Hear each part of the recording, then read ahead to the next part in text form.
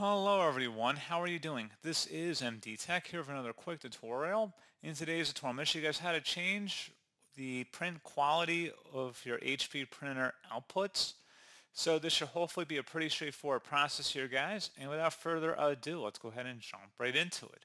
So all you have to do is open up the search menu and type in control panel. Best result should come back with control panel. Go ahead and open that up. On the right side, select the view by up at the top right and select category. And then you want to select hardware and sound. Underneath devices and printers, select the advanced printer setup button. And then select the HP printer from this list.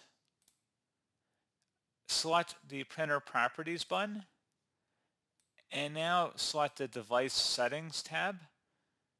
Now we want to locate where it says print density. So if you want to make it darker and more toner to be used, you can move it higher up to the 5 setting. If you want to make it less dense, which will mean less toner used, and likely it'll also be a faster print job as well, you can select a lower density. And you can do some sample prints and just kind of go in between the settings here with the scroll bar and just see what setting works best for you. And then once you've made your selection choice, select apply and OK to save that. And that's all you have to do. So pretty straightforward process, guys. I do hope I was able to help you out, and I do look forward to catching you all in the next tutorial. Goodbye.